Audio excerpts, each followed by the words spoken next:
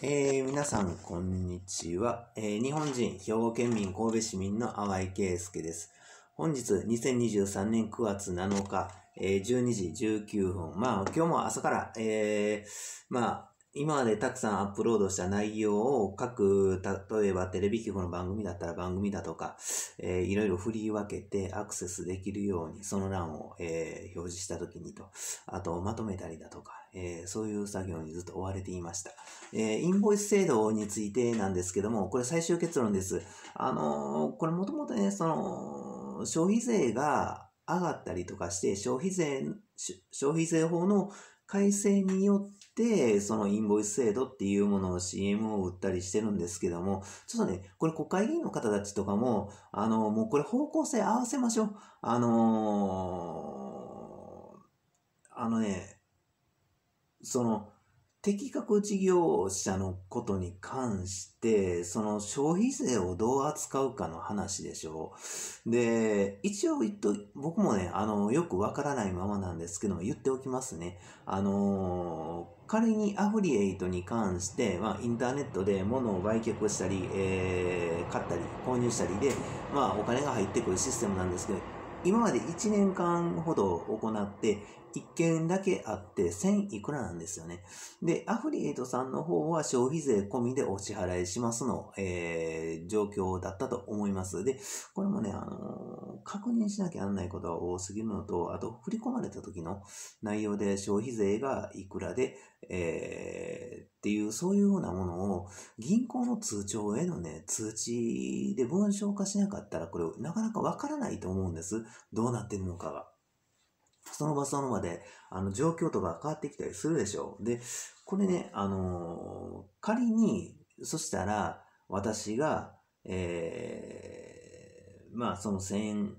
ちょっとの中でね、消費税、えーまあ、100円なり、えーまあ、大体で納税したと、したとしましょう。で、えー税務署の方はそこまで細かい金額まで書類回されてこられたって、書類の山が出来上がるだけなんですよ。だから余計手間かかるんですよ。だから、元々の、その方式、あの、屋号があって、もう売り上げあんまりない人はもう法人登記簿なんかいちいち出さなくていいよっていう、そういう方式あるんです。あの、確定申告とか自分で行った人ならわかります。っていうのは、あの、法人登記簿とかを提出したら行政の方に、あのー、十何万ほど、えーお金かかります。で、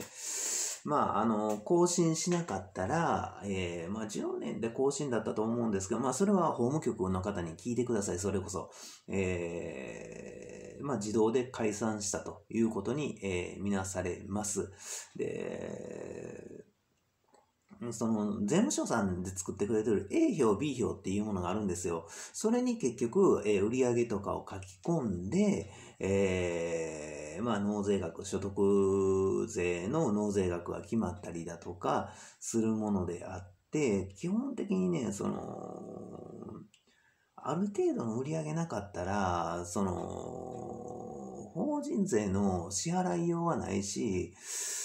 そもそもそれだったら、生活保護等とか、結局所得税の控除で家建てたりの話とかもあるから、もうみんな見ていて、政府の考えが何なのかわからなくなるんですよ。だからそのインボイス制度っていう名前自体も変だし、何狙いなんですかって。ね。イン、声でしょ？ボイスって声でしょ？も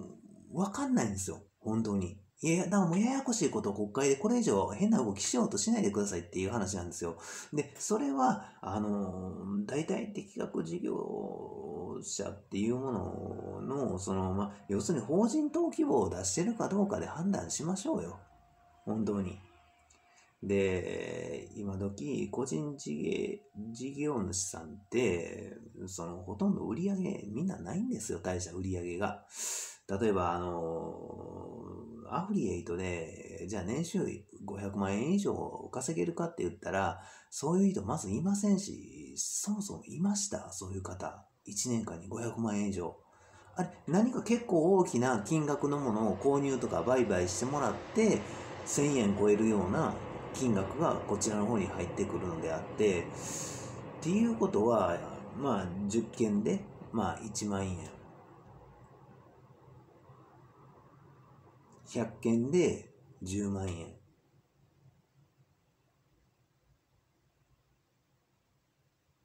1000件で100万でしょ ?5000 件？だからまあ100円、ああ、じゃあ1000円だとしたとしてですよ、一つね。だから物によっては300いくらとかにのものもありますし、こちらに入ってくるのは100いくらとか。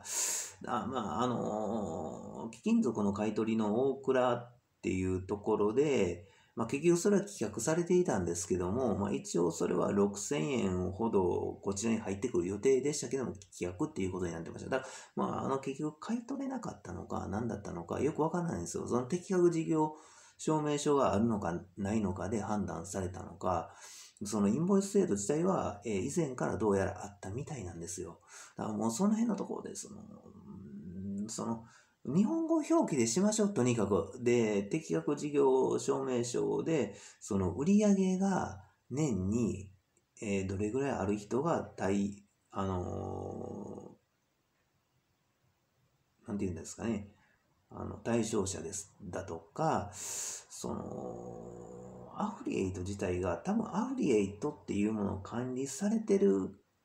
その事業主さんのところが多分一番利益あると思うんですね。で、そこが法人税を払ってると思うんですよ。そういうことになりますよね。で、次、消費税の問題になるんですけども、消費税を、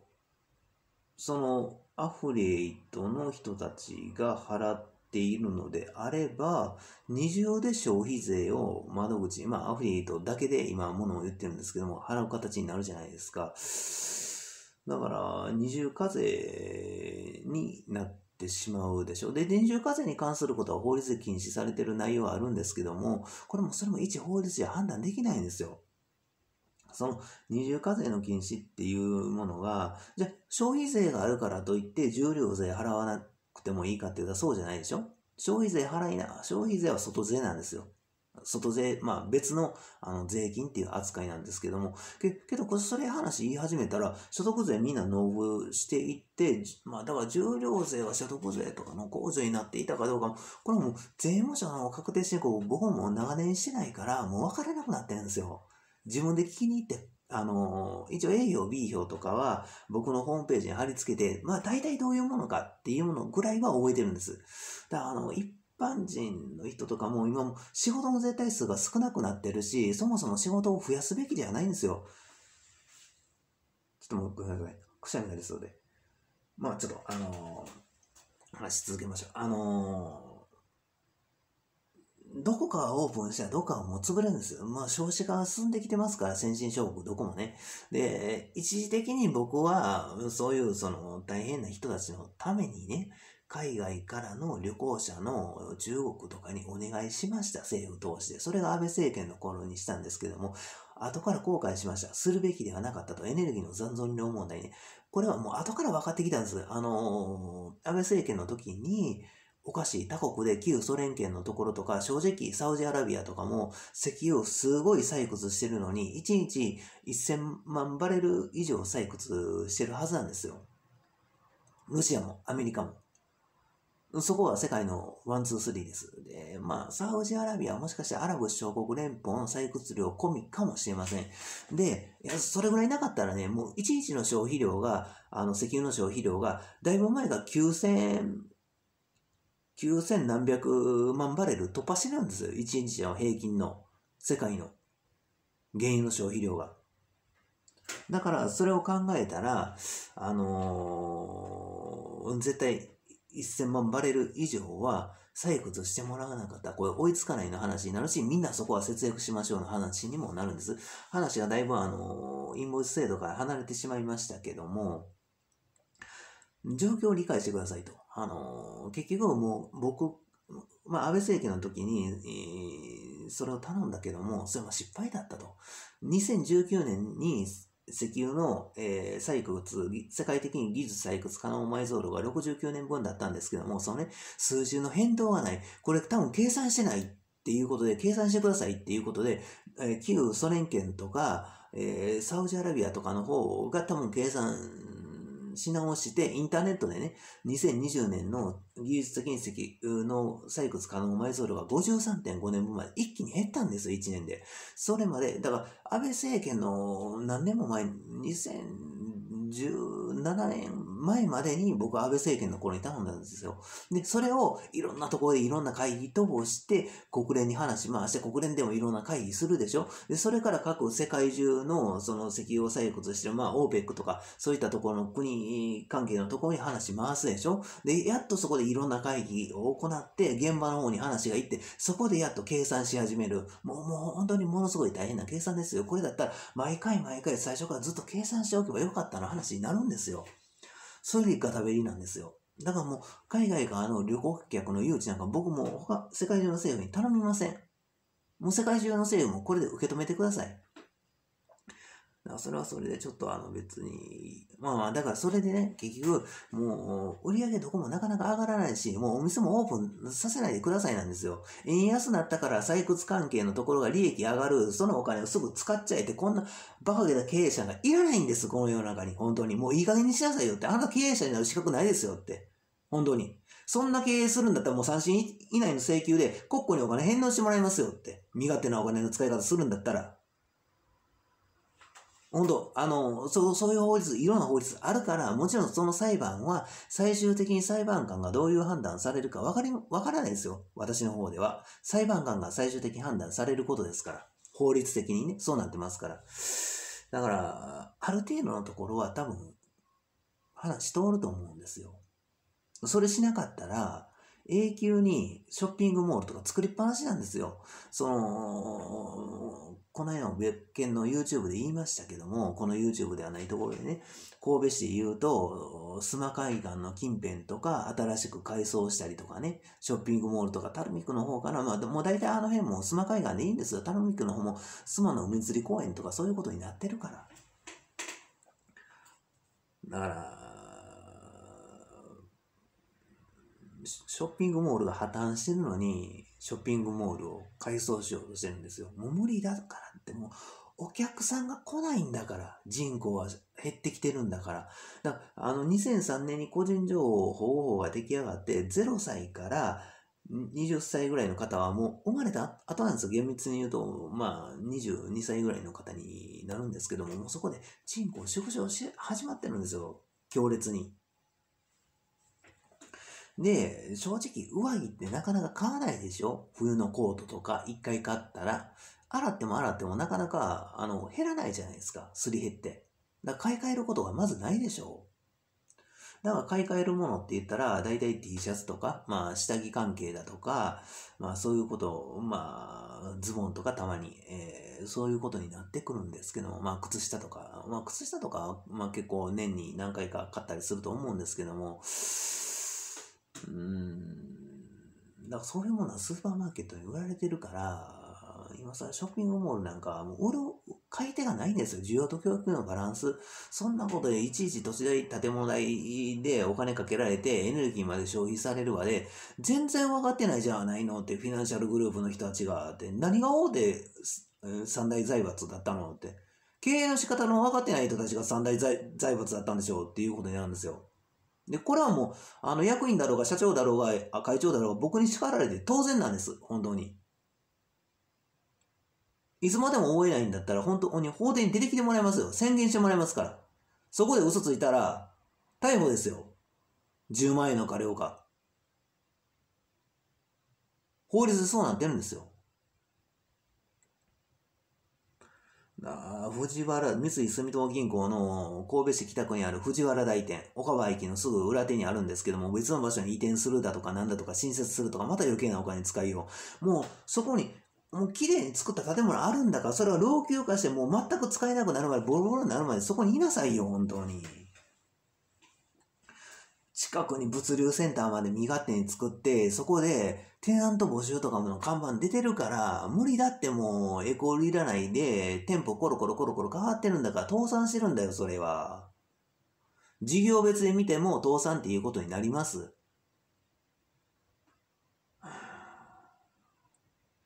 インボイス制度とかはもういらないから、大元であるその会社とかがちゃんと消費税を納税しればいいんです。あと、普通に払ってる人たちが消費税を払うことになるから、ら買い取りに関しては、それは売却だから、消費税関係ないでしょう、本当は。あり、あります？法的に売却したものまで消費税。違うでしょ？それ。だから、一応ね、アフリエイトに関して、買ったもののケースと売却したもののケースがあるから、もう見ていてこちらも話ごちゃごちゃになってきて、よくわからなくなるんですよ。また、そのタイミングで、棄却されてるから、そのアフリエイトのね、あの、大倉っていうところに売却していただいたその6000円が、こちらに振り込まれていないっていう状況が発生してるから、本当はアフリエイトっていう会社に、その、アフリエイトとして、その、パ、あの、まあ、掲載してる人たちがね、電話で、こういう件はどういう理由なんですかっていうことも聞きたいし、その棄却の理由、棄却の理由をそもそも、あの、文章として、あの、送っておかなきゃなんない、アフリードさんの方は。そうじゃなかったら、そのインボイス制度とかいろんなことがあって、こちらが適約事業登録者なのかどうかで棄却されてるのかっていう不安感、不安感。これ、僕はこれ言う前にいろんな人たちが言ってるんです。だからもう大元たどると国会で、もう余計な制度いちいちもう作らなかったらいいんです。大した話ややこしくなるから、純利益しっかり出てるところから法人税を回収、法人税で回収したらいいんですって。それはもう岸田さんに言ってるし、岸田さんもある程度それ言ってるんですよ。ある程度のところで。もテレビのニュースで流れてますから。だから僕たちのレベルについてこれない人たちが身勝手な動きをずっとしてるっていうことになるんですよ。いやいらない法律をいっぱい削除したらいい。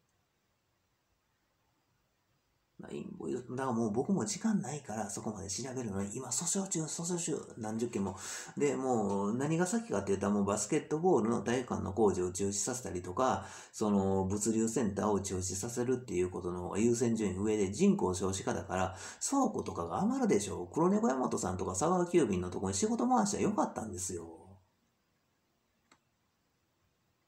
そこは物流センターなんだから、だ阪神物流センターの中に黒猫大和さんとかあるんだから、そこで仕分けりゃよかったんですよ、きっと。もう、おかきり開いて、あの後あの切り開いた後の辻とかど、どこに持って行ってるんです？また埋め立てとかしてます？それするから海面が上昇してくるんですよ。世界中で埋め立て。もう結構な面積ですよ。ね、神戸市だけでポートピアアイランドと神戸空港と六甲アイランドと、あとどこか他にも何か埋め立てあります？これ神戸市だけですよ。兵庫県じゃないんですよ。兵庫県で日本海とか埋め立てしたりしました？正直、辺野古基地もそう。ただ、それ、大津波に備えてのかさ上げだったら理解できます。エネルギーの残存量問題から考えていくと、まあ、米軍の人たちも別に撤退していただいたらいいし、みんな国連に加入してますしね。それこそ世界との友好の外交、そのハワイケースからの提案で安倍さん同士の話、これ絶対フルオープンで世界で必要ですって。そしたら余計な軍事費とか削減できますから。エネルギー、エネルギー。航空機を飛ばす回数とかも減るし、エネルギーの残存量問題の話もさせてもらったら、結局ブルーインパルスも廃止っていうことで決定できるから。いらないから。必要ないの、ブルーインパルスという存在自体がみんなに迷惑かけてるの、自覚持っての話。